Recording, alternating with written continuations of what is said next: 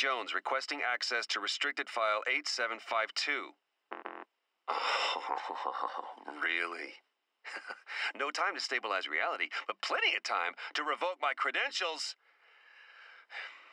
This is Agent Jones requesting access to all materials related to the Seven. Oh, great! Okay, if you're not going to give me what I need, I'm just to have to take it.